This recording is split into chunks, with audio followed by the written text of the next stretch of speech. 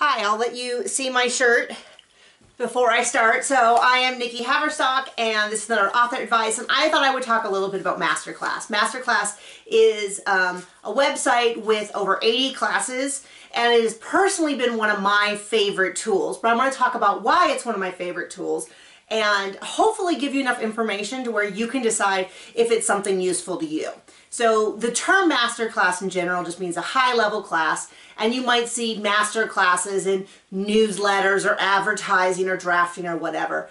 I am referring specifically to masterclass.com which is um, uh, specifically a type of masterclass. This is the kind that you probably saw a commercial before this episode. Uh, to be clear, this is not a sponsored content. I They don't know I'm doing this. They're not giving me any kind of discount. Um, it's just something that uh, when I was on Facebook a lot, people used to often refer people to me to ask for my opinion about Masterclass because I've been quite vocal about saying that I enjoy them. And I've taken about 20 of them. I started and finished about 20. There's probably another 20 that I'm somewhere going through and doing. So there are 80 plus classes at this point. I started with the Steve Martin class when it first came out, bought it standalone, which was $90 at the time. Soon after that, they rolled out a year subscription for 180 and so they told everyone who had paid $90 for one class, hey, if you want to pay $90, we'll give you a full year. So I did that, did the full year, um, and then by the end of it, I had kind of watched all the classes and so I didn't feel that it was worth another $180 to do another year. They do roll out new classes every month, but um, I just felt that that wasn't really great. I, th I think it was about nine months later, and I'll give you a hint, which is around Black Friday, they often have a two for one deal. So I asked around, found someone who wanted to do it, and we got a two for one deal, and that's by far $90 for a year to pay up front is a phenomenal deal. And I think if you have not done Masterclass, then either the $90 for a year or even the 180 for a year is worth it. If you have money in your budget, you can take away from other things. So part some of the reasons why I personally like them great deal is that I value the opinion of experts. That's just something that I've always done when I want to go and learn something I seek out people who are leaders in their field. Now, not everybody feels that way, and that is not a criticism of them because I'm probably missing out on a ton of really great information from people who just don't have the name recognition. Um, there's plenty of great teachers um, in different fields that aren't necessarily successful themselves for doing the same thing. So there's kind of a, you know, you know the phrase, those who can do, those who can't teach. That's actually a bastardization of the original phrase, which was those who can do, those who understand teach. And so not everybody who is great at doing what they do can transfer that knowledge in a good way. And I've been a coach and I've been a teacher for years. And so it is, there are plenty of people who know how to do it that are awful teachers. Now, one of the advantages of masterclass is that it's clear, I shouldn't say clear. My assumption is that they do a lot to work with the particular person to help them bring out their best teaching moments because every class I've taken has been incredibly informative. And I'll go into some of those classes. So the fact that I really value getting information from experts means that this is a particularly useful thing for me. Um, this is also an encouragement for me. So I'm at a point in my career, and not everybody is, and this is not, please hold on with me. So if you, if I say this and you roll your eyes at, oh, she's so full of herself, just give me a chance to explain. Which is, um, so anybody who knows, a mastery curve kind of goes like this. And you, at some point you start leveling out and your gains are slower. At first you learn a ton. So I am sort of getting up into here my curve. It's not that I am so awesome a writer, it's that I know what I need to work on and the only way to work on it is to just give it time. Just continue to write, continue to work on these things. It's not a matter of I haven't learned what it is I need to work on. I know what I need to work on.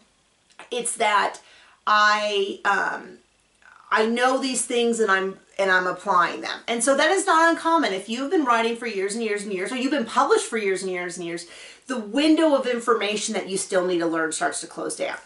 So for me, if I get three tangible things from these lessons that are new, that's actually a big deal to me.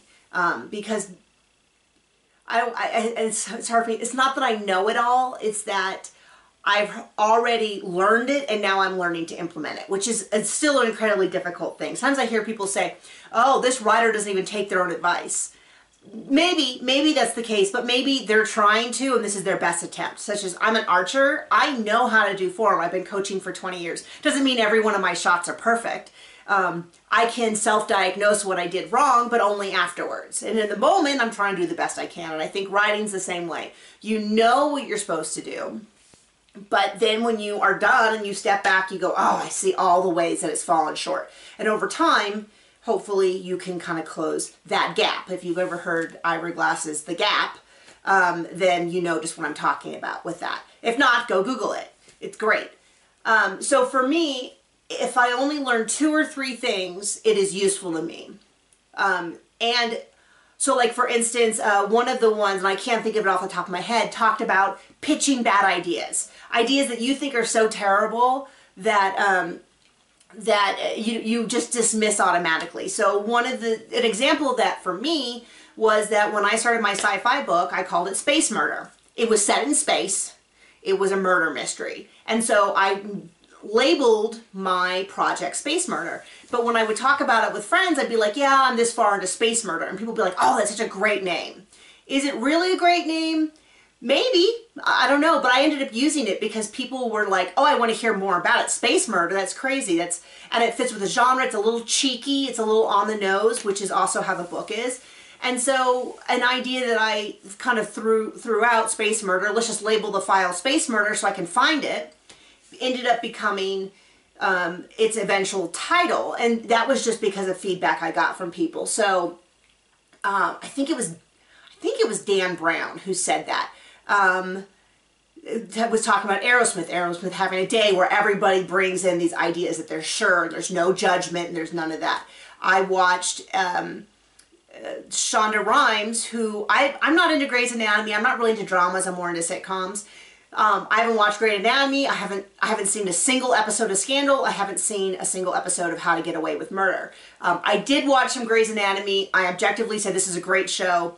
I just it just doesn't draw me back. Dramas in general don't.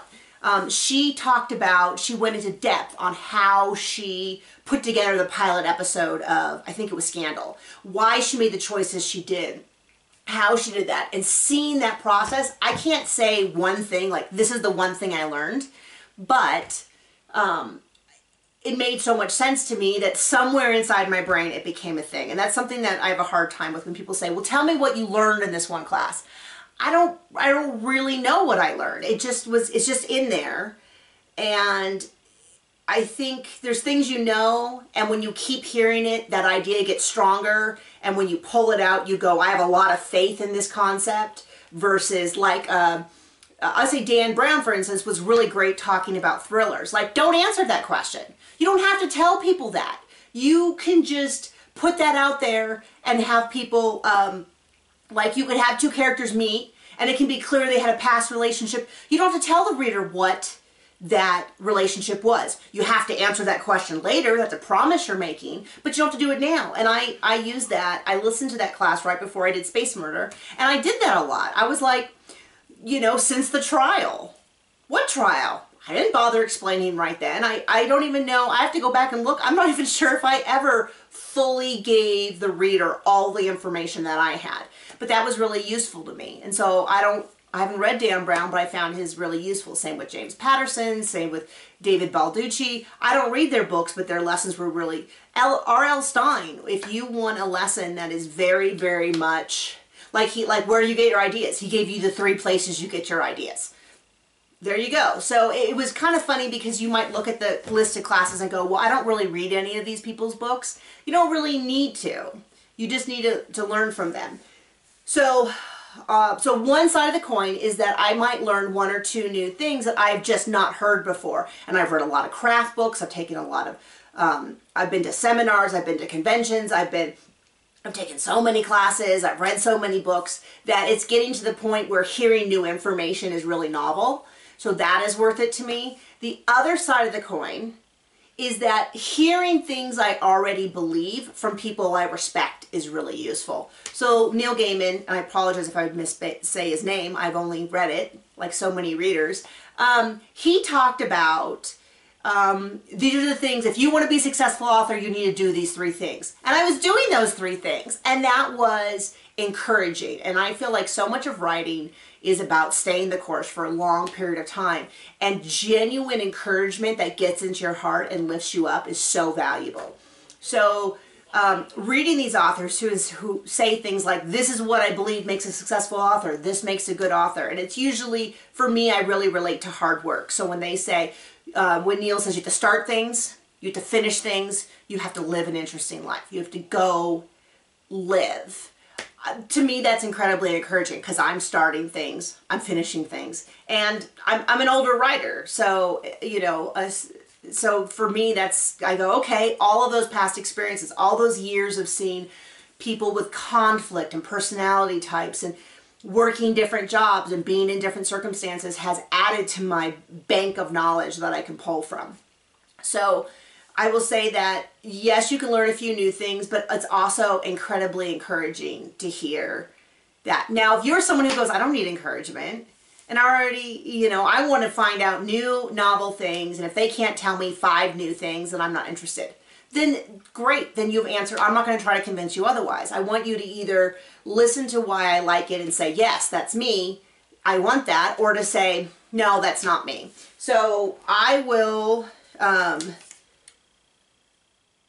so I will find, uh, I will, so okay, so technically, the technical aspects of this is that you can watch on um, on the computer, but you there is an app you can use, and it works a lot like your podcast app, meaning that you can lock your phone, stick it in your pocket, and listen with your listen with headphones, which is how I listen to a majority of them. Um, I've listened to.